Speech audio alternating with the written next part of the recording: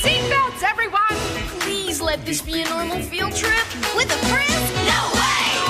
Cruising on down Main Street, you're relaxing,